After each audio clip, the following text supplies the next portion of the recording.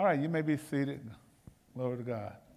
All right, well, well, well. We're in Luke chapter 7. Luke chapter 7, you know, um, after Jesus had finished his, uh, uh, uh, after Luke had finished uh, Jesus' version of uh, the uh, Sermon on the Mount in chapter 6, you know, he enters Capernaum, where Luke now records some of the extraordinary faith that was displayed by a Roman officer, and, as uh, uh, we see him showing that the Gentiles was always uh, included uh, in God's family. And, and, and, we see how important faith is when it comes to our relationship with Jesus. And then, you know, he goes on and uh, uh, this story that we began with kind of parallels and puts you in the mind of what was recorded uh, by the Roman officer and uh, Cornelius in Acts chapter 10. So we see this tonight as a precursor to what would happen again later on when Jesus was commissioning them after the day of Pentecost to go out and start spreading the word to all nations. And, and, and so uh, tonight we pick up uh, in, in, in, chapter 1, uh, in chapter 7, verse 1, he says this. He says, When Jesus had finished saying all these, all this to the people. What he had finished saying was that powerful sermon in the ch- chapter before, again connecting to the Sermon on the Mount. He returned to Capernaum. Capernaum was like a home station for him, a home base that, you know, when he went out, he always came back to certain regions. At this time, it served as a home base. And at that time, he says, at, the, at that time, the highly valued slave of a Roman officer was sick and near death. When the officer heard about Jesus, he sent some respected Jewish elders to ask him to come and heal his slave. So we see here in that this officer is making a request. And he's making that request through uh, other Jews, Jews that probably were favorable to Jesus, and Jews that he probably had a relationship with. Now, this is a Roman officer, and he's obviously a person of notoriety and, and of note because he got servants. He got people that work for him. And so, apparently, one of his servants, and, and again, it just let, let us know that he must have had a good relationship with this servant. You know, because the Bible says he was, you know, highly, highly valued, you know, uh, and, and, and therefore he wanted him healed. He wanted him to be healed, and he knew that Jesus could do it. So if this servant or slave, however we want to read this, was of no value, he would have just let the dude die. Just let him die. But he had heard about Jesus. And so Jesus' notoriety was still moving and still picking up. And he heard about Jesus. Now, the result of hearing about Jesus, he figured that, hey, I have enough faith to believe that Jesus can heal my servant. So now he sent this group of people uh, uh, of Jews who could relate to Jesus to make a request on his behalf. And we're going to see here in a minute why he did that because, you know, he, he, he was kind of favorable to the Jews, kind of like Cornelius was. You know, Cornelius showed favor to him and he prayed and did things like that, and his prayers went up to God. And therefore, as a result of that, Peter was sent to Cornelius' house. And so now we see another Roman officer who seems to have embraced some of the things that the Jewish culture was believing in. And so now look at this. In, in verse uh, uh, uh, 4 and 5, look at this, this plea. He says, So they earnestly begged Jesus to help the man. If anyone deserves your help, he does, they said. You know, they making a plea. Then he says, for he loved the Jewish people and even built a synagogue for us. So this was not the average typical Roman. You know, because at that time, you know, the Jews didn't care too much for the Romans because they was being oppressed by the Romans and they was under Roman occupation. So therefore, for this guy to do this and be able to help them build a synagogue, he must have had some type of relationship with the Jews, even though he was a Gentile. And so, again, just proving the point that God is not a respecter person. So he'd been listening and sitting around Jews and listening to how they do things and what they talk about, how they worship. He may have started believing some of the things that they believe. But now he goes a step further and is going to start believing in the one who a lot of them rejected. And let's follow this. He says now, so Jesus went with them. But just before they arrived at the house, the officer sent some other friends to say, Lord, don't trouble yourself by coming to my home, for I am not worthy of such an honor. Well, I'm not worthy of you to come to my house. Now, we have kind of heard that story with Zacchaeus and some of the others that people think they're not worthy, but Jesus got no problem dealing with unworthy people. But look at this. I am not even worthy to come and meet you. For just say the word from where you are, and my servant will be healed. I mean, that's a display of faith right there. Now, this is not someone who was brought up in the Jewish religion and understood all about the Messiah coming that the other Jews should have known and understood. This is somebody who had been around them and had embraced what they believed and had enough faith to believe that Jesus would just say the word from where you are, and my servant will be healed. Now, we see also here that this man understood authority, Major, because he said, for I know this because I am under the authority of my superiors, and I have authority over my soldiers. I only need to say, Go, and they go, or come, and they come.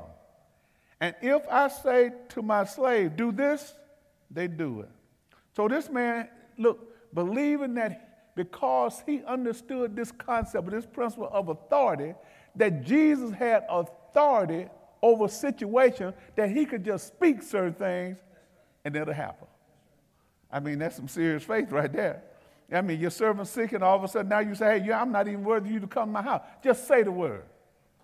And, and, and, and what you're going to see here is that because of that level of faith, Jimmy, faith can be recognized. You know, because Jesus came back and said, in verse 9 and, and uh, uh, through 10, it says, when Jesus heard this, he was amazed. Man, when you can say some things and cause Jesus to be amazed, you must be making a pretty bold declaration.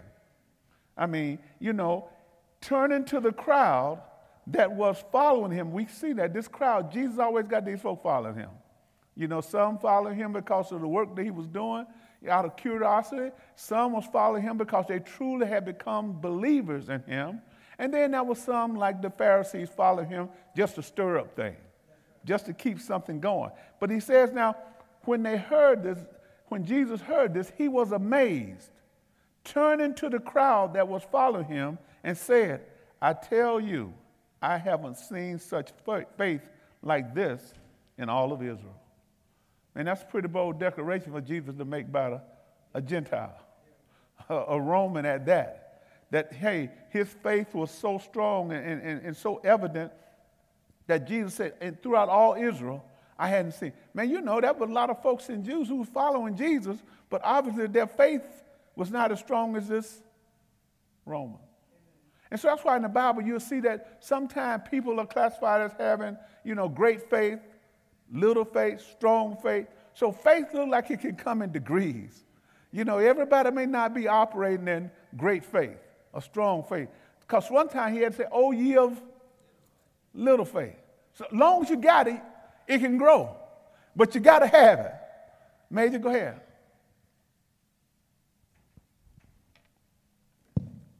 Pastor, he had, he had such great faith, but why, why did he feel himself to be worthy, though? Why, because he was a Gentile? You know, it, Major, it don't give us a good reason why he felt he was unworthy. And it could be because, again, how the Jews looked at the Romans and the fact that he was part of an occupying force, and, and people could have looked at, hey, I'm not worried because of what my people are doing to your people, you know, in this way. So I'm not worried for you to come to my house. Maybe he did have been doing some things, but it looks like at the same time that he was doing some good things with, for the Jews. Yeah. But for whatever reason, He felt like he wasn't worthy for Jesus to come to his house. You know, and, and, and so sometimes I think that are a lot of times, I think Zacchaeus even had a little problem too, you know, when Jesus was going to his house. You know, and, and, and maybe because people doing certain things that, hey, I ain't, you know, maybe I ain't worthy just to go to church yet.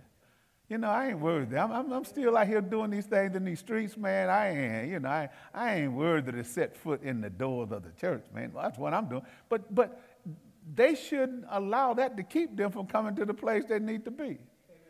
But, but this man said, because of that, I still have enough faith to believe that you can just say the word.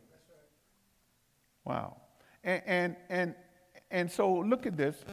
Following when, when, when Jesus heard this, he was amazed and turned to the crowd following him. He said, I tell you true, I haven't seen a faith like this in all Israel. And when the officer's friends returned to his house, they found the slave completely healed. Wow. So Jesus' words had power, but it was the man's faith that caused Jesus to speak those words. See, we got to understand our faith can move the hand of God. You know, He will respond to our faith, and that's how we have to walk by faith and not by sight. And we have to have confidence that our God can do some things that we may not even think possible. Amen. Put the ball in His court, and whether He do it or not, it's on Him. But at least we ought to have the faith to believe that we can put our trust and hope in Him because He said He would never leave us nor forsake us. And that he's and with him all things are. And so the man was healed. Now after that now again luke started to record more of jesus miracles. Now we see another miracle that jesus is about to perform when it comes to raising this widow's son i'm in verse 11 it says soon afterwards jesus went with his disciples to the village of nain nain and a large crowd followed him That seemed to be a consistent theme right now. Everywhere Jesus went, he had a following. And again, just because he had a following don't mean that all in the crowd was for him. So therefore, I, I look at this just because we can get a large crowd at a place, even in church, it don't necessarily mean that everybody's operating on the same the level of faith and same belief system and, and, and trust in the Lord to the same degree. It's all good they're part of the crowd, but there's sometimes people may be coming just to argue with the scripture. And instead of receiving the scripture and trusting the scripture to be true, they want to argue with the scripture. But then every now and then there's some people just come in because they're curious about the scripture, you know. Other go to church, I heard about it, I just want to go. But then there's some people who truly come and receive this word, let it go into their hearts, take root, and then start living what they have heard. No different than when Jesus gave the parable of the sower and the seed. That seed fell on four different types of people, and all of them responded to the word in a different way. I believe that when people come to church on Sunday, all people, I'm not saying there are four types of people that's probably sitting in the church. Amen. Some gonna get the word with joy, jump up and down and shout, have a good time, and then go out and got no root. And then when something happens, Hey, I ain't going back there. That's Right. You know, then there to be some, you know, who to get this word major. And, you know, before it can take root, it's to be trying. But some to come and just choke it right out of. You know? Then there are going to be some that may let it take time and grow and then do the things that they learn. And so at the end of the day, when we look at this, it's all about us being doers of the word and not just hearers only. Faith is an action word, so we have to act on our faith. And so here it says Jesus had this crowd following him, and then he says a funeral procession was coming out as he approached the village gate. Now you kind of got to get the picture of how they proceeded with funerals during that time. You know, probably a casket type box of some sort with the body there. And a lot of time when you look at it in the, in the Arab countries right now, have somebody, they be open. You know, they just be marching down the street with them open. So I'm, I believe that that's kind of how it was done back in those days. because, you know, folks uh, during that time, you know, you had to be buried right away. So when you died, they, they ain't waste no time. You know, today we take two, three weeks, you know, but because we can embalm folk. But back then, most time funerals had to take place before the sun go down. Okay? And, and so therefore this procession was going and, and, and they approached the village gate. Then it says, the young man who had died was a widow's only son, and a large crowd from the village was with her. In other words, there were people that were with her, uh, showing their compassion and love for her, and there were some people that were, that were just mourners. You know, because, you know, in the Bible, they have mourners. They have people who showed up at funeral. They call them wailers. And they, they mourned, they grieved, they cried, they let you know that sorrow was on the scene. And so now we see this, that this crowd, and when the Lord saw her, look at this, his heart was overflowed with com. What is compassion? What does compassion mean to you? When you hear that compassion, what does it mean to have compassion on somebody? Anybody? Your answer is your answer. I'm just asking a question. When the Lord saw her, so it looked like sometimes we can see certain things that ought to cause our heart to move He shared a pain. Okay. Okay. Anybody else? Feeling of sympathy, empathy. Okay. Uh, uh, uh, uh, for her and her suffering. And you know, one thing, it's one thing to feel somebody's pain, but it's another thing to do something about it. I mean, sometimes people don't just need for us to feel sorry for them, they need us to do something. And sometimes it don't always mean you got to do something where you're giving money and all that. Sometimes compassion is just being there for folk, just listening to folk. And, and, and, so, but the Bible says his heart overflowed with compassion. You know, don't cry, he said. Then he walked over to the coffin and touched it. Now, Jesus kind of broke one of those old, those old laws right there because, you know, there was something dead in there. And under the whole system, if you touched something or came near something that was dead, it would be considered defiling you. And so Jesus obviously didn't have no problem touching something that was dead. And I'm pretty sure the religious leaders had a serious problem with that. Because in their mind, now he has just done something that now he's defiled and he got to go through this purification ritual because he's an father. But Jesus had already told us who he was in the earlier chapters. He, he is the Lord of the Sabbath. And, and, and so, therefore, you know, so he walked over and touched it, and the bearer stopped. Then he says, Young man, he said, I tell you, get up. Just his words. Now, Major, let's stop right there for a minute. Now, we read that in the Bible, and we and we as Christians, by faith, have to accept that. I mean, we have to accept that. So now I just ask, I those of you online, because the folks in here, they probably do. But I think there are a lot of people that come to church that really can't accept that as faith value. They read it.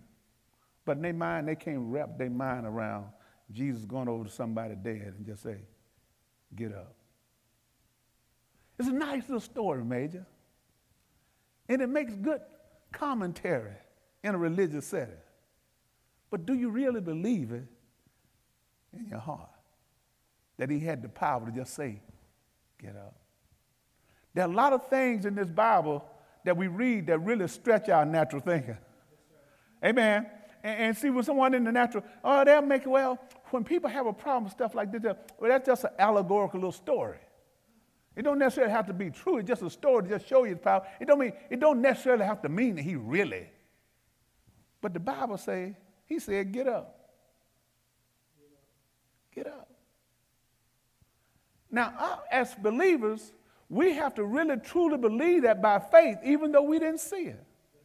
And we just can't read this and just, just say it to be saying it. We have to really think that that thing happened just like that. Because if you can't believe that happened right there, then how are you going to believe in a resurrection that you ain't never seen nobody got up from?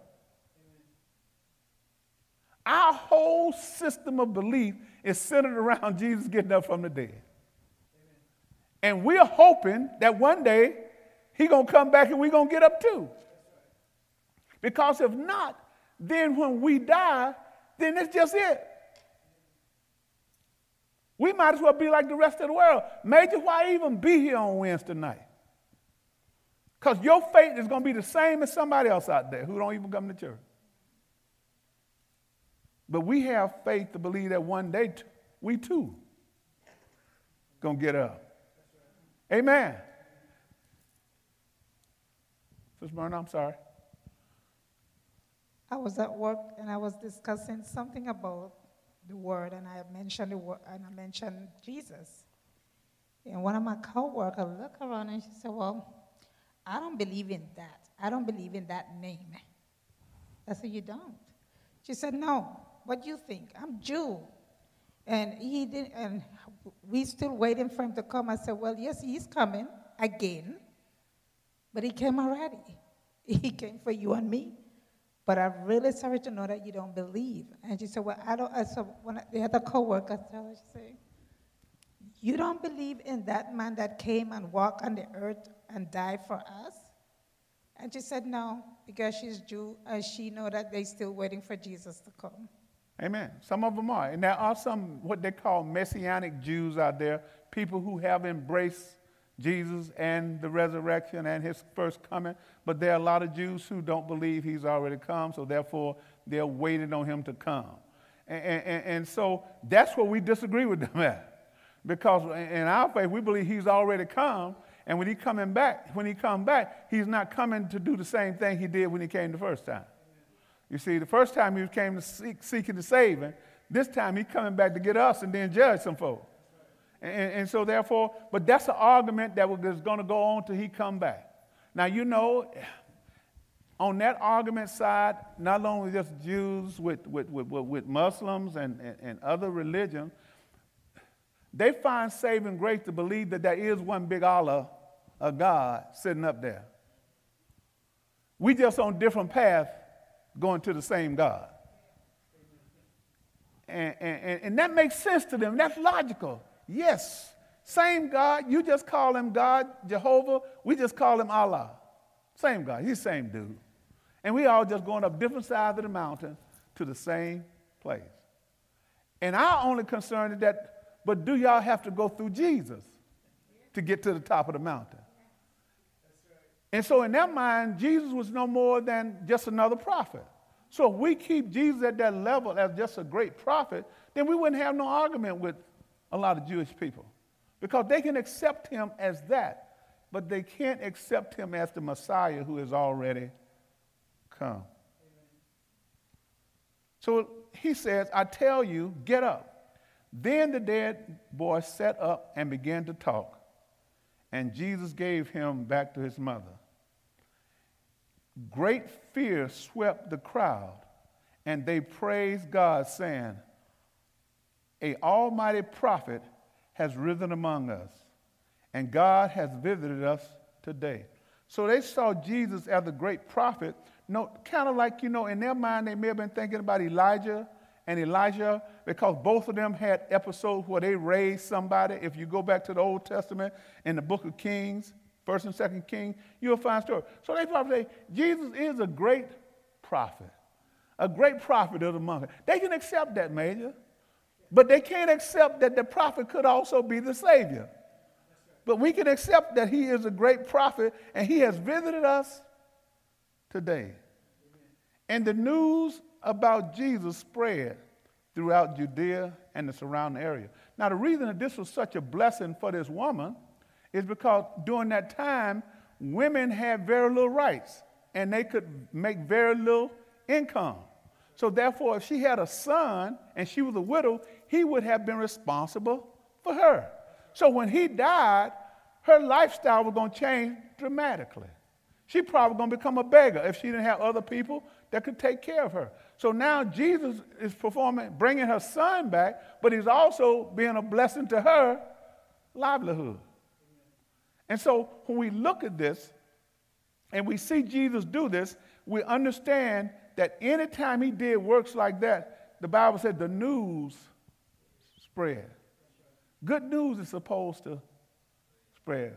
When the Lord do something good for us, it's supposed to spread.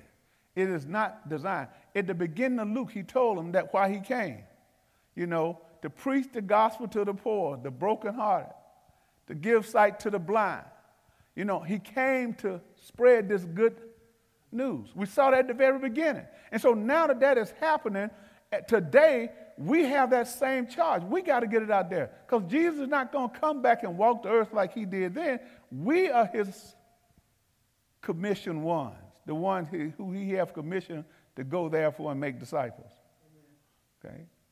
And we do that by sharing with them the good news. Now look at this.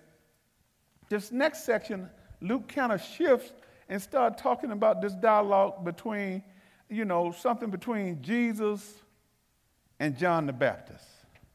Now, y'all know from the beginning of this that Jesus and John was really kin.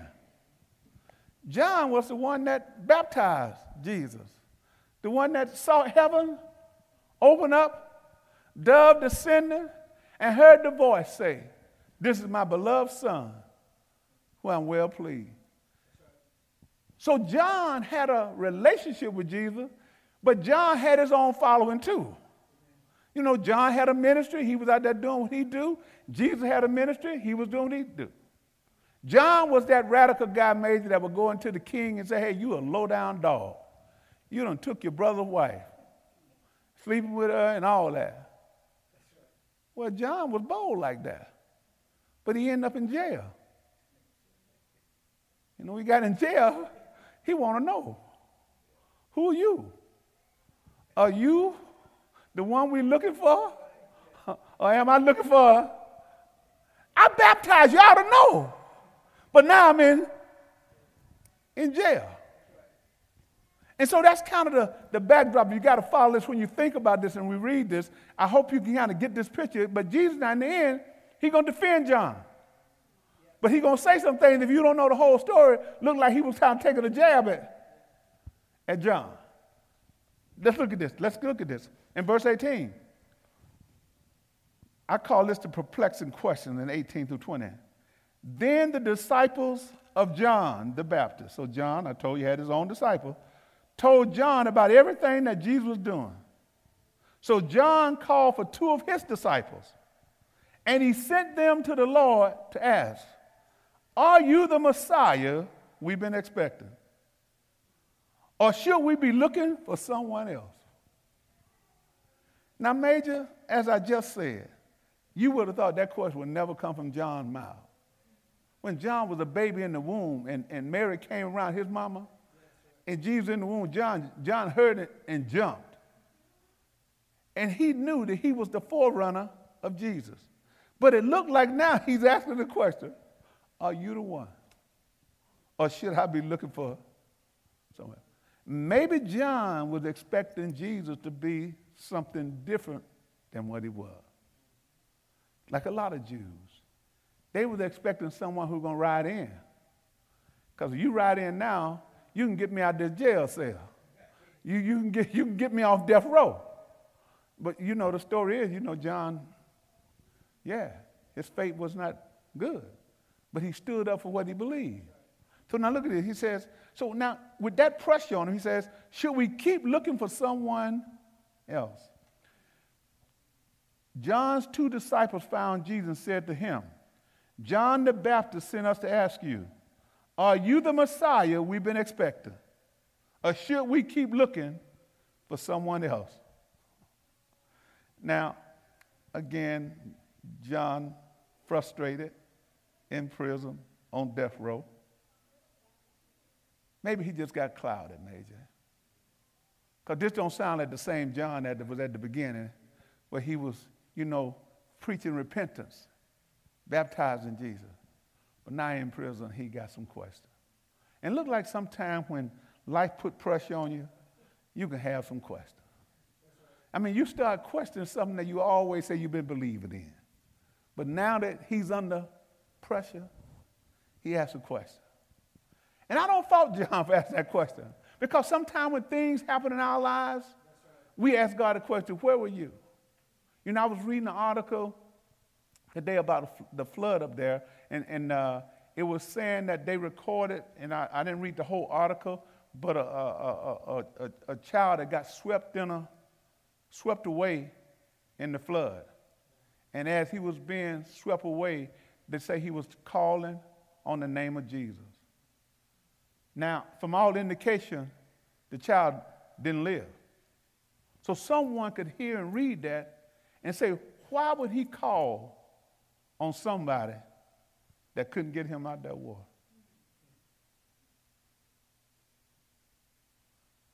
So the question is, when life hits you hard, who you gonna call on? Whether he do what you want him to do or not, who you gonna call on? And so someone on the other side may say, yeah, see, he shouldn't have never been believing anyway. Why believe in a Jesus that can't even deliver you? Then that's when we as Christians have to defend the hope that we believe in. We have to know that even in the Bible, during Jesus' time, everybody that he was around didn't live. Some people died while he was on the scene. And, and so those are the type things that if we don't have a solid foundation, we could find ourselves just like John. Are you really the Savior? And are you capable of working miracles? Hmm. Or should I be looking for someone else? Wow. It's just easy for us right now because, you know, we're sitting in here. Now look at this. Let's go back and read. John, two disciples found Jesus and said to him, John the Baptist sent us to ask you, Are you the Messiah? We've been expecting, that expectation is there, or should we be looking for someone else? At, the very, at that very time, Jesus cured many people uh, of their diseases and illnesses and he cast out evil spirits. We saw it, just giving a, a, a, a, background of what Jesus was doing. And he restored sight to many who were blind. Then Jesus told John's disciple, Go back to John and tell him what you have seen and heard. The blind see, the lame walk, the lepers are cured, the deaf hear the dead are raised to life. And the good news is being preached to the poor. Jesus said, Go back and tell John all the things I'm doing, and then let him determine whether I'm the Messiah or not. Because even if I don't move in his situation and get him off death row, I'm still who I say I am. I know that don't make sense, does it? You know. But John had a question. And Jesus came and asked. Now look at this in verse 20. And tell him, God blesses those who do not turn away because of me. In other words, God bless those who don't lose faith in him. You know, God's blessing would come on those who accepted Jesus' credentials because he was telling his resume there and believed in him rather than being caught and trapped by their false expectation and then run the possibility of missing him completely. In other words, we saw that word expect up there in the verbiage, so it could have meant what we said earlier that maybe John had an expectation that he felt like was not met. And because that expectation was not met, that caused him to question the very thing that he was preaching about, the very one that he was preaching about. But Jesus cut him some slack now because because he, he going to say some things here, you know, in, in, in this, that, that, because uh, some of the people probably started talking, thinking that, you know, John wasn't really who he said was, that John, John may not have been the man y'all thought he was after he said that. Now, y'all, y'all, y'all follow this. He says, after John's disciples left, Jesus began talking about him. Who is the him? Talking about John. See, I done said some things about John, but now his disciples going, let me talk to the crowd about John. Talking about him to the crowds. Then he asked this question, Major, you in the crowd. Jesse, you in the crowd. You know, Rob, you in the crowd. He says, What kind of man do you did what kind of man did you did you go no, what kind of man did you go into the wilderness to see? Talking to the crowd. Was he a weak reed, swayed by every breath of wind? So these were people who had known John and followed him. And so Jesus asked them a question What kind of man did you go into the wilderness to see? Was he a man who was just being tossed to and fro by every wind that came along? What did you see in John when you were with him in the wilderness? Now look at this. Because that when you look up that word reed and, and, and swayed, you know, these are the little things that kind of sit on the banks of the rivers, and you know, they're very flimsy. And so Jesus is just saying, was John a flimsy dude? Not come to John. He asked him, You followed him? Was he a flimsy dude? And the point he's going to try to make is that if he was flimsy, he wouldn't be in the predicament that he's in right now. If he was just some dude that just went along to get along and went back and forth, he wouldn't have never confronted the king about messing with his brother's wife. No shaky reed gonna do that. So he said, look, so, so you, do you know what kind of man that you went in the wilderness to see? Was he a weak reed, swayed by every breath of wind? Or were you expected to see a man dressed in expensive clothing? Well, you know John's story, Major. John was running around out there with wild hair, camel hair on and eating honey and oats and wild weeds. And I mean, John was doing. Now look at now, y'all got to get this because this is powerful what Jesus doing here. Or were you expecting to see a man dressed in expensive clothing?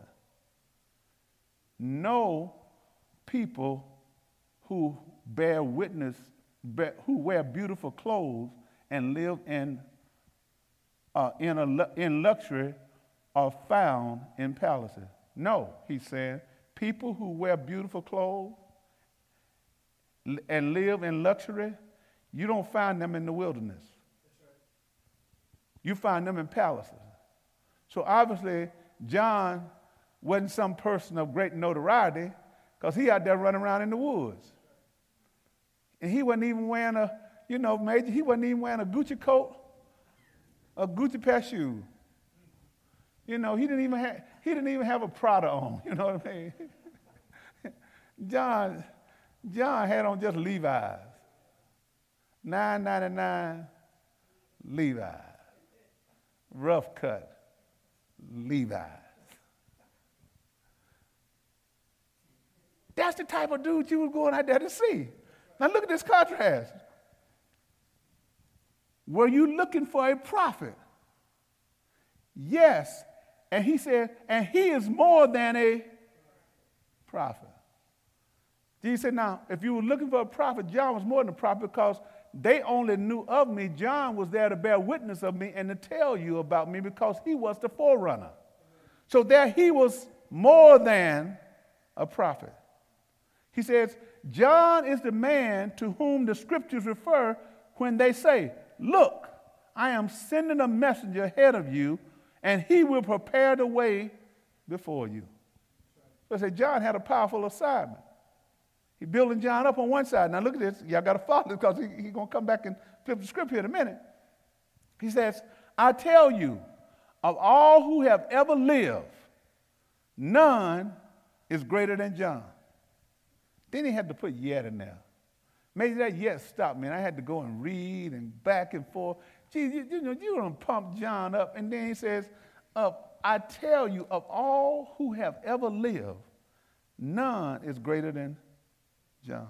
Talking about the prophets now, you know, all who the prophets, got to keep it in context, because if not, this next part will mess you up. Yet, even the least person in the kingdom of God is greater than he is.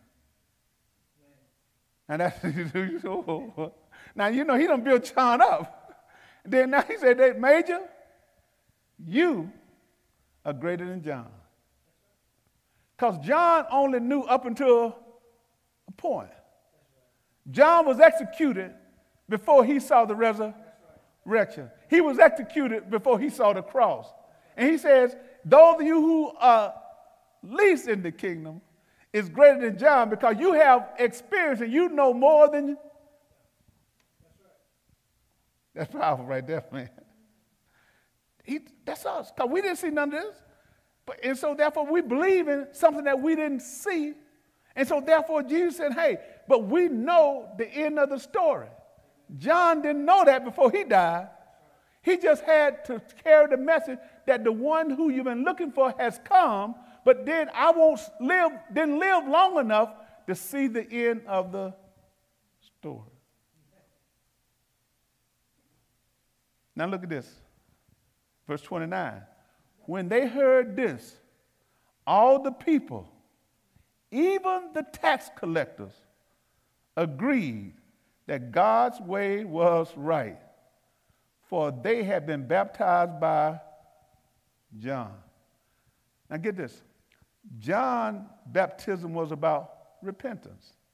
He baptized people unto repentance. In other words, John's message was, hey, he's coming, turn away from your sins and be baptized. Jesus' message was greater than just baptism. His was also about salvation of being saved and the resurrection. He says, but they believed that what John preached about Jesus was right. Now, look here, Major, but there's always these Pharisees in the crowd. But the Pharisees and experts in religious law rejected God's plan for, for them, for they had refused John's baptism. In other words, they felt that because they saw themselves as being righteous, there was no need for them to repent.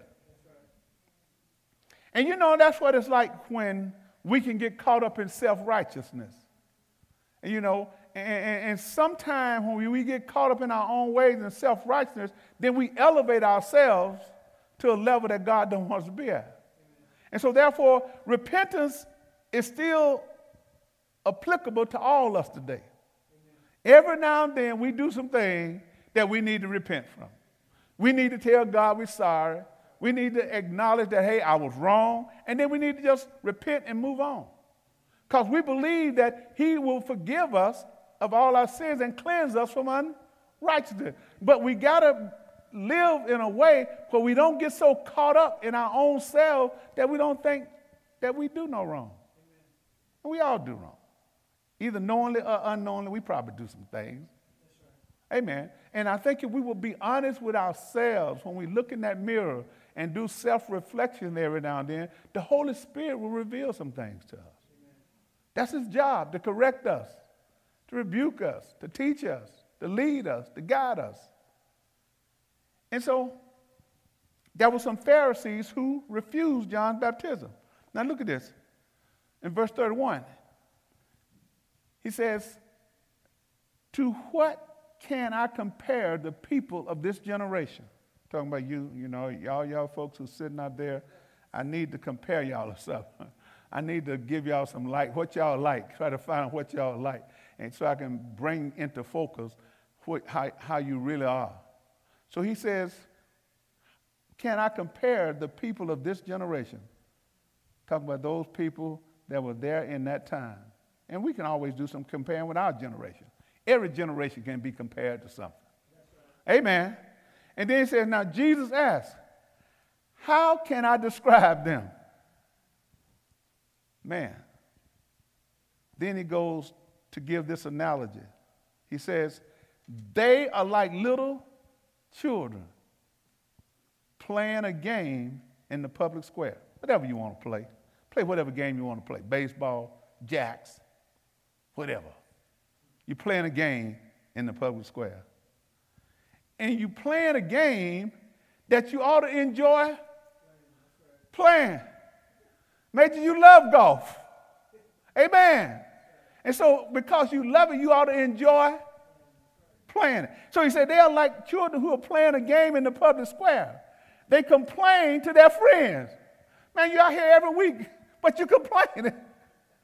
You ought to while you're out there, he said, look, they complain their friend. we played wedding songs and you didn't dance. Mm-mm-mm. Man, we played music while you out there in the square, song that you should have had joy, and you didn't even dance. Then he said, we played funeral song, and you didn't even cry. Man, I done showed you two extremes.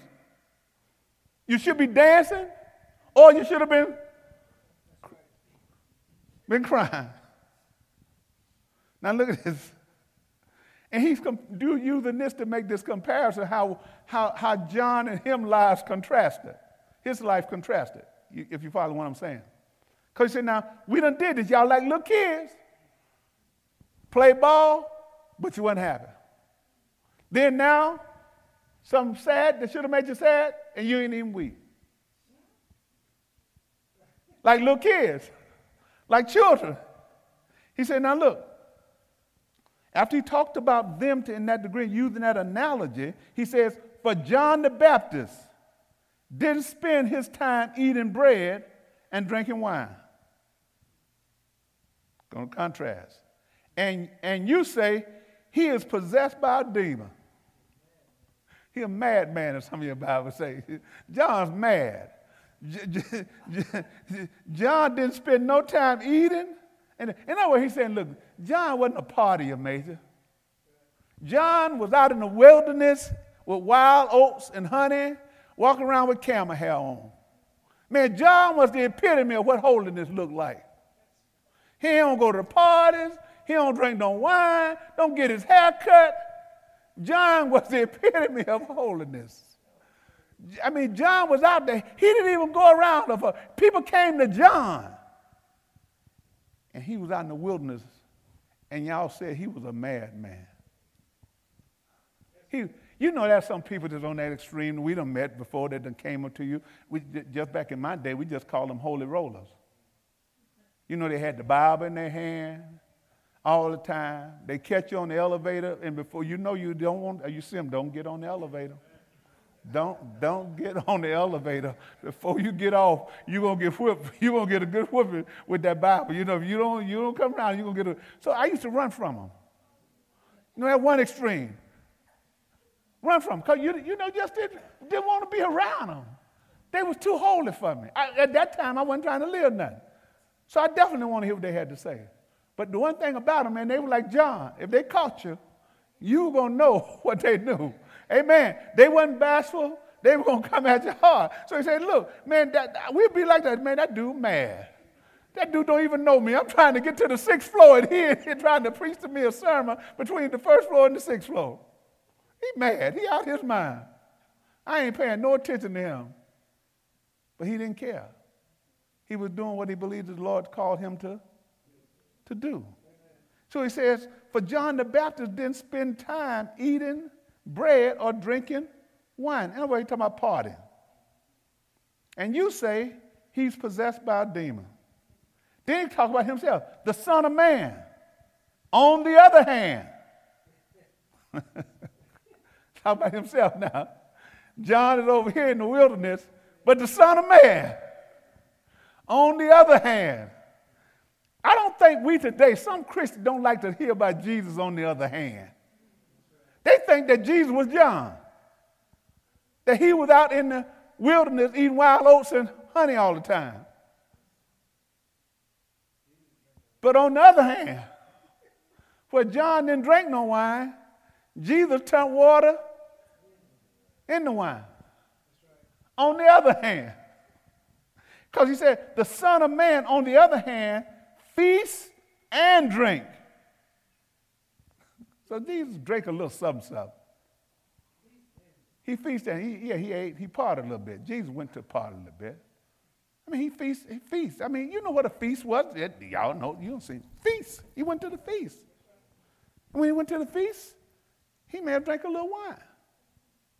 I mean, ain't no sin in drinking wine. Amen. The sin, the, let me be careful how I say that. The sin is drunkenness. Now, I'm not endorsing any of you all to become wine bibblers. Amen. Because I know in striving there's a good possibility that 50% of y'all drink a little wine anyway.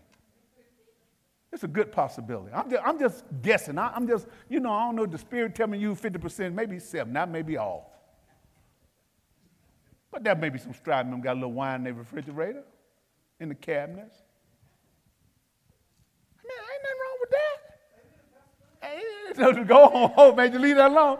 But so, so, so the point I'm trying to make, the, the sin of drunk, because sometimes we beat up the folks who just got a little wine. And, and there's nothing wrong with having a little wine. Because sometimes I used, to, used to tell you, you know, uh, uh, Paul told Timothy to take a little wine for his stomach when his stomach was upset. Drink a little. The, the, the, I don't know that. You think that was different, Major? I mean, I remember I went to the doctor with cholesterol problem, and he said you ought to drink your little wine every day. Red wine. What's that? I said, what? I got license. That's medicine. I can have eight ounces of medicine every day. I mean, that he told me. And then he gave me the history about, you know, you study the European countries and the, and the Mediterranean countries. Those people have less heart disease than we do, and they eat just as much cheese as we do. The only difference is they drink wine all day long. they, have, they have wine with every meal. Major, I, I'm just telling you, it may have some healing properties in it, Major. All the medicine that we use come from something that God created. But I'm not endorsing, don't get me wrong. I don't drink alcohol. I, I don't drink at all. But look, I had to change my thinking on this matter because at one time I was hard on everybody who did. And the people in Striving knew that. And they would not drink in front of me. Anytime I went to something, they all sit there like none of them had no wine. No desire. Because I was there. But one year on a cruise, on that little boat cruise, that night cruise, some of them got bold enough. And I looked up and there was wine floating around on the table. I said, I can't believe these rascals finna drink, finna drink this wine right here in front of me. But then I had to catch myself to say, the wine wasn't a problem, drunkenness is a problem. So wine happens to be my pet peeve because I don't drink. You know, I don't encourage people to drink. But I've grown now to where I don't call people drinking a glass of wine sin. No. Go, go ahead, man. You just want to say something. Okay, okay. Go ahead, Sister Marta. When Jesus was eating and drinking with people and did with every different kind of people. It wasn't righteous people. He was drinking with people that he wanted to, for them to, to feel comfortable and come to him. Amen. Without have to be afraid of serving him. Because in him trying to show them that, it, it make them feel like he and them was equals. Okay. Well, well, you know, your point is going to be made when I read this next. And I saw your hand, Sister Mary. Uh, let me read this, and then you can speak. He says, So the Son of Man, on the other hand, feasts and drink, and you say he is a glutton and a drunkard, and a friend of tax collectors and other sinners. Now look at that. So, Sister Mary, go ahead. After I read that, go ahead. You got something you wanted to say? Okay.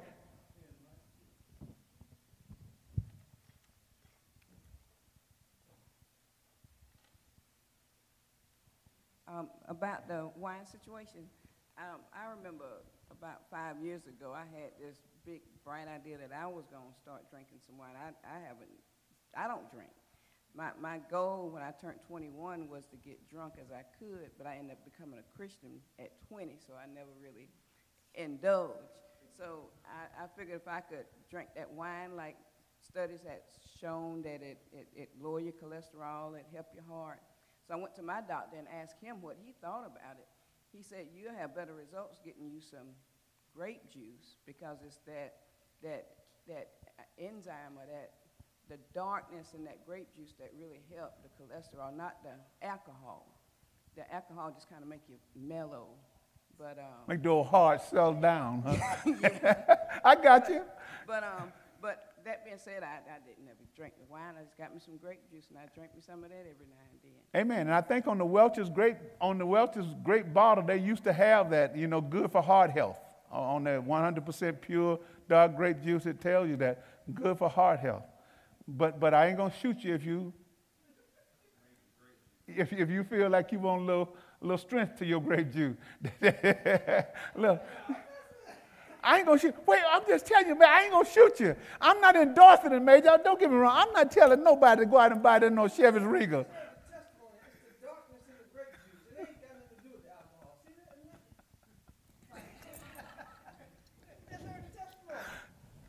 So, so, so do you think that Jesus, the darkness that was in that grape juice that Jesus drank, do you think it didn't have no fermentation working with it? You know, when I was in the other another denomination, when we got to this part of the Bible, we tried to change it up a little bit, and we added to it, and we said, "Yeah, Jesus did that, but but but but but uh, what he did, it wasn't fermented yet, so it wasn't real wine." That what you say? That when Jesus did the miracles and wine, it wasn't fermented yet, and that made us all feel good because we were trying to justify not drinking nothing. But then we read on. I got older and read on. It said the folks said it was the best stuff they ever had. And it was at a wedding. And they knew the folk went to wedding to have fun. And wine was a way to make the wedding merry. Now, I'm not endorsing one because I don't make my statement clear, Major. I don't drink alcohol at all. And at one time, I used to criticize or condemn anybody who did. But then as I grew, read this passage of scripture, and said, okay, yeah. So as long as people don't get drunk, if they choose to have wine or grape juice for their heart's sake, that's on them. So if pastor come to your house, you ain't got to hide it. If you got it, just let it sit out there. If it sit out there all the time, don't, don't hide it. Because I'm, I'm, a, I'm mature now. I'm grown now. 20 years ago, 15 years ago, you may have had to hide it because I would, I would have probably said, I can't believe my member. But now, but now, yeah, we beyond that. But, but what do y'all think about this when, when he say, this is Jesus talking about himself now. This, this is in red. He said, the Son of Man, on the other hand, feasts and drinks, plural. And you say he is a glutton and a drunkard. That's what they say about Jesus. He talking about these same kids now. You got two extremes. You got one when you ought to be joyful, and then you got the other one you ought to be sorrowful. You got John, who you call a madman, and now you're calling Jesus a glutton and a drunk. Which one of them you gonna believe? Wow. he says, he's a glutton and a drunkard and a friend of tax collectors, bad people, and other sinners. So Jesus hung out with people that probably offended the religious group in order of that day because his assignment was to reach those people. And in order to reach those people, he had to fellowship with those people at times. But his intent was to make sure that they received the gospel message, not to condone what they were doing if it was sin. He says, but wisdom is shown to be right by the lives of those who follow it. Their righteous living demonstrate the validity of the wisdom that Jesus and John taught. That's what he's trying to say. If you follow John's teaching, you're going to be all right. Because John was a straight up, strict guy, you know, when it comes to righteousness and living right. If you follow Jesus' teaching, wisdom going to say you're going to be all right. Because John's teaching is going to lead you to Jesus. And, and so we see here that, that, that, that decision, that dilemma that they had, that Jesus said, hey, man, y'all just like children. And you should be happy because you're playing ball, and you're not. You should be rejoicing. Then you're like children who should be weeping because what's going on, and you ain't even sorry. And so you got both John and Jesus here, and you ought to at least be happy with one of them. Just be happy with one of them. Because if you get John, he's going to lead you to Jesus. If you get Jesus, you don't need John's message because Jesus got a message of his own. Wow. Now look at this. Let's go on because I want to finish this up. It says in verse 36 one of the Pharisees asked Jesus to have dinner with him. So Jesus went to his home and sat down to eat. Some say that was uh, Simon. We'll find out later. Uh, so Jesus had no problem hanging out with religious folks either. So he got an invitation, he went. He didn't say, you know, uh, you know, you Pharisees, y'all do this, this, and this. I ain't got time to hang around with y'all. Hey, he was hanging with publicans and sinners. Now he go hang with the religious folk. So that ought to tell us that, you know, we can hang with people who think they're super religious, and we can hang with people who sinners. From one extreme to the other. The gospel message will work on both of them. Because the super religious sometimes need to know Jesus too. Just because you're religious don't mean you know Jesus. And then it says, when a certain immoral woman, some say she may have been a prostitute, Major, from the city heard he was there, eating there. She brought a beautiful alabaster jar filled with expensive perfume. Most of y'all know this story. So now, at that time, whenever a rabbi or somebody came to town of notoriety, even if he was at a person's house, a lot of people came in just to hear what he was talking about, to sit around the words, sit around the table to hear the discussion that was going on. And as this woman, however she got in there, she knelt behind him at his feet, weeping. Her tears fell on his feet, and she wiped them off with her hair. Then she kept kissing his feet and putting perfume on them.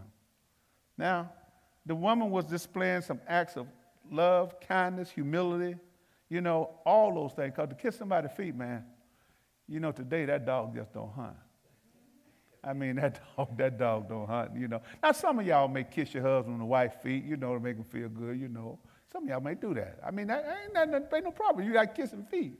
But this woman kissed Jesus.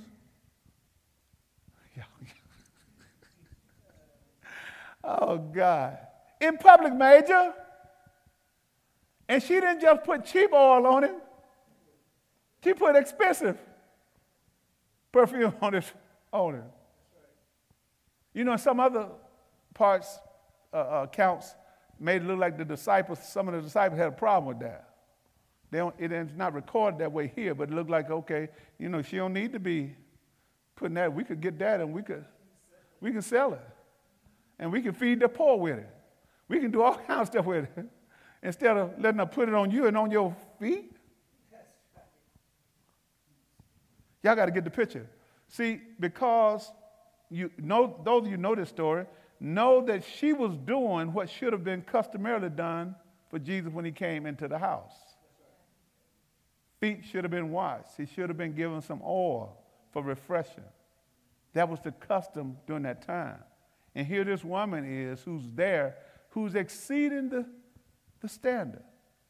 Now look at this.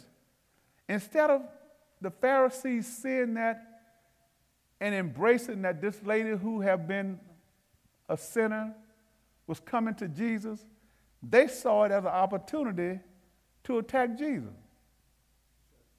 Because look what it says.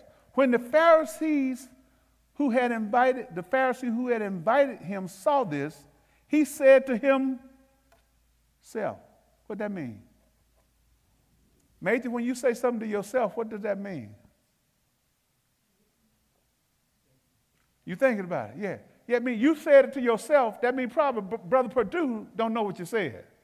Myrna, even though she's sitting around you, don't know what you said. Because you said it to your and a lot of times when we talk to ourselves, we don't even be talking out loud. We just be talking in our head said some things to ourselves.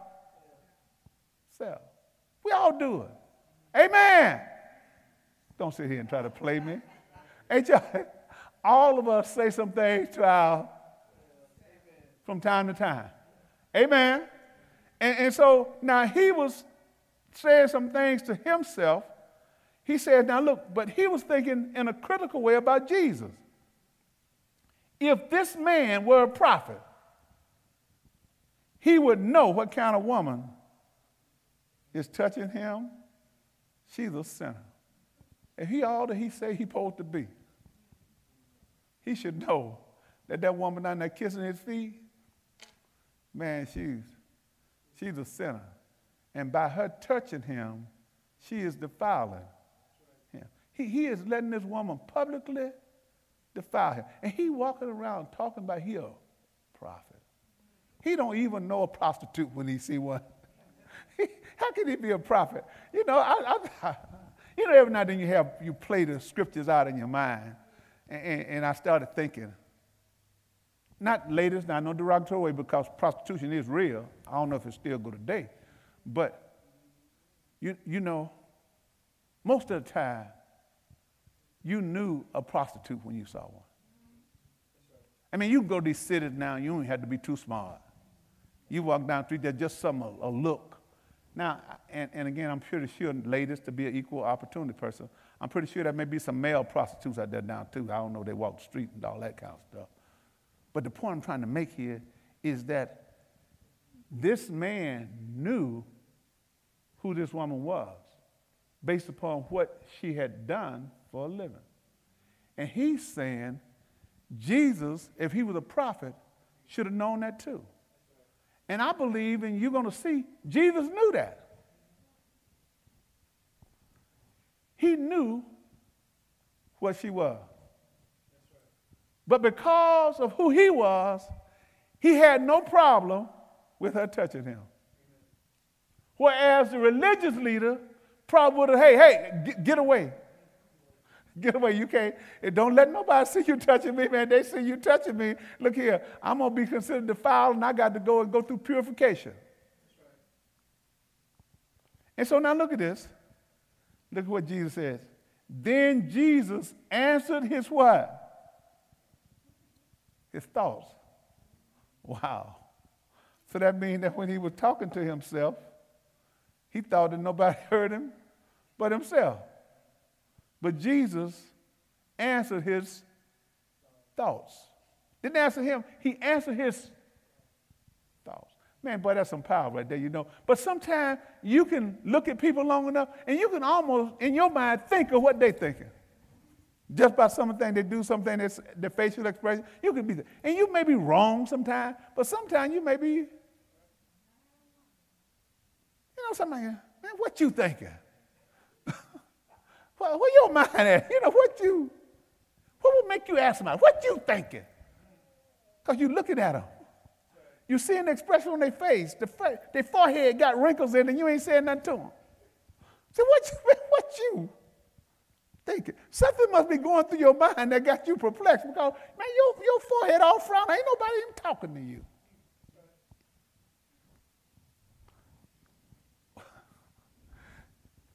You know there are people out there who make a living that read people's body language.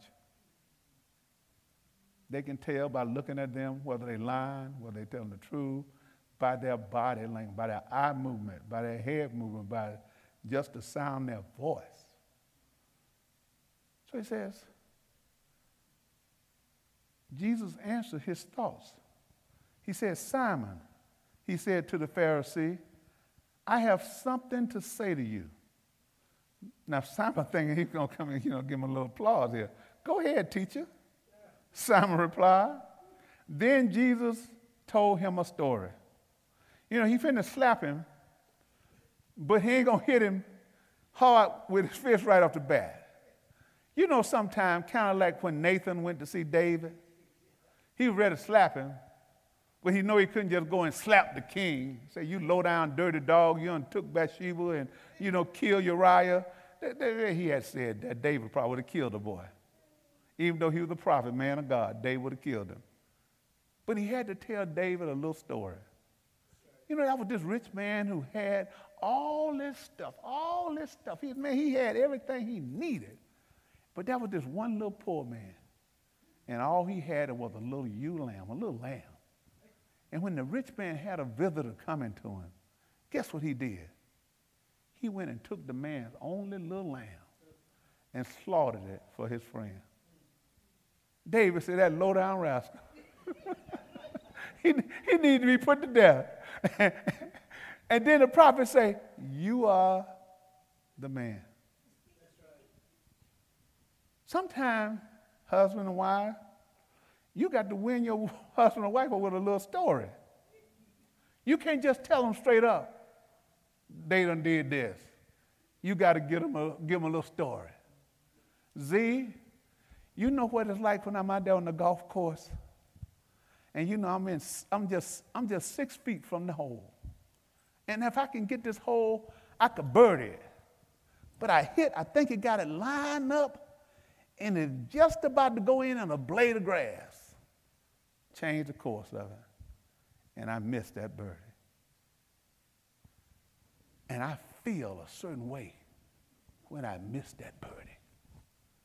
That's how I feel when you do this to me. that's how. You don't think, you don't, you don't think that'll work, man. You don't think that'll work.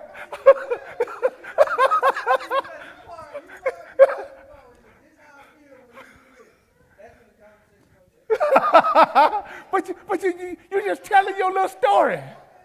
You just your little story. How you? let me go on finish reading. because that little story ain't gonna work. Well, let's just look at Jesus, how he told his story. He said, Now, then Jesus told this story. A man loaned money to two people, five pieces of silver to one, and I'll say $500, and 50 pieces to the other, $50. Neither, but neither of them could repay him. So he kindly forgave both, gave them both, canceling their debt. Then he asked, Who do you suppose loved him more after that? Now, Major, she ought to understand how much you love golf when you said that, how you felt. But just in case, we're just used the money here. And Jesus said, Now, you don't need to be too smart to figure out who's going to be the happiest. Neither one of them could pay him. But that dude that got away with $500, you know, he's going to be a whole lot happier than dude that only owed him $50. And, and so now the point he was trying to make is this is the same thing that applied to people who are coming to the Lord that feel like they had a greater sin debt than others. Some people self righteous and don't feel like they need to serve Jesus much because they didn't have many sins when they was coming up. And there are some people who come to the Lord really broken and contrite and say, Man, all that wrong I did when I was out there in the world, man, I want to make it right now for the Lord. I'm going to put all that energy and all my energy in trying to do the right thing now compared to what I did when I was out there in the world. Whereas some people, I didn't do that much out in the world, so I really don't have to give the Lord much because He ain't had to deliver me from much. I never drank, I, I never partied like that, but you were still a sinner. You were still a sinner. So he says, Simon answered. So Simon said, You know, Major, Simon answered. He kind of sounded like you, Major, tap dancer. I suppose. I suppose. I suppose the one whom he canceled the larger debt. Jesus said, Now that's right, Major. That's right. Simon, you got it right. Then he turned to the woman and said to Simon, He turned to the woman, but he said to Simon, looked at the woman, but he was talking to Simon. He said, Simon, look at this woman kneeling here. When I entered your home, you didn't offer me no, no me water to wash my, the dust off my feet, but she washed them with her tears and wiped them with her hair. Man, Simon, you didn't greet me with a kiss. But from the time I first came in, she has not stopped kissing my feet. Simon, you neglected the courtesy of olive oil to anoint my head. But she has anointed my feet with rare perfume. I tell you, her sins, and they are many, have been forgiven. And she has shown me much love. But a person who is forgiven little shows only little love. So that that may cause us to answer, uh, ask the question: How much love do we show the Lord? Can our love of Him be measured about, about how much we think He forgave us? Meaning that if I didn't think I did that much, so therefore I don't owe Him much. But if I did a whole lot of dirt while I was out there, then I owe Him more. We all owe the Lord a debt that we couldn't pay, can't pay it. So therefore, regardless of how much our debt was, whether it was the 500 or whether it was the 50, we should all serve him with the right heart. We should all give him our best when we serve him because he is expecting that because he has already paid our debt. Man, because he done paid our debt, Major, we ought to be happy about that. We ought to be excited about that. And Simon should have been excited for this woman, but instead he was critical because he was so caught up in who she was and what she was doing versus the fact that she needed a Savior. Because in his mind, he didn't need a Savior. And he didn't have enough inside of him to see that she needed a Savior, but he wouldn't even offer that salvation to her. Sometimes people, their hidden prejudices keep them from going to people that need the gospel. We kind of have biases that's already built into us in certain areas, and therefore we already think that certain people is not worthy of salvation. So therefore, when those hidden biases take precedence in our life, then now we will only talk to and witness to certain type of people. Because hidden in our mind, we think, oh, that person, Man, if I was a prophet, I ought to know what she do or he do for a living. But Jesus came for all. So therefore, we should be open to reach out and, and witness to all people, Amen. not just people that we consider to be better than some. He said, Now look, I tell you, her sins, and they are many, have been forgiven, and she has shown me much love. But a person who is forgiven little shows only little love. Then Jesus said to the woman, Your sins are forgiven. The men at the table said among themselves, Who is this man that he goes around forgiving sins? Who is this man? Now they sit at the table there with him. And now they some will take issue because they thinking that only God can forgive sin. Who is this man who goes around forgiving sin? And Jesus said to the woman, Your faith has saved you. Go in peace. Your faith in me has saved you, not your works, but your faith has saved you. And now you can go in peace with God. Because when you accept me, I bring peace between you and God. And so, therefore, that's why the Bible says, you know, that we can have the peace of God and the peace with God. I have peace with God because of what Jesus did. God is no longer mad at me. I'm no longer fighting with him. I'm at, we at peace now. But then now, when I get to that next level and I have the peace of God, that's something that's on the inside of me that caused me to have that peaceful mindset and that tranquil mind, even in the midst of a storm. We ought to have both of those pieces. We ought to experience both of them peace with God and the peace that comes from God. And so Jesus taught some powerful lessons in this, in this chapter of Luke, and I hope that you got something out of him because he touched on a wide variety of topics and things, and he made some powerful comparisons. So I would encourage you, you know, you get time, go back and read it again, take a deeper dive into it, and, and, and, and see what the Lord will reveal to you as you be like a Berean and go back and study the word for yourself. Amen? Let's give the Lord a hand clap of praise. Now, thank you for your attention tonight.